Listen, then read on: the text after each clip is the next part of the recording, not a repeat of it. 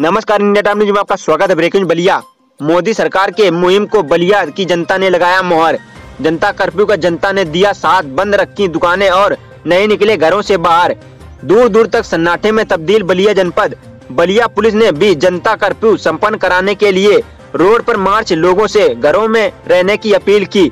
वहीं दूसरी तरफ़, बाहर से आए रेलवे स्टेशन से बाहर निकलते यात्रियों से पुलिस ने बारीकी से पूछताछ की। सब्सक्राइब करें इंडिया टाइम न्यूज़ चैनल और बेल आइकन दबाना ना भूलें। इंडिया टाइम न्यूज़ अपडेट सबसे पहले आपको मिल पाए।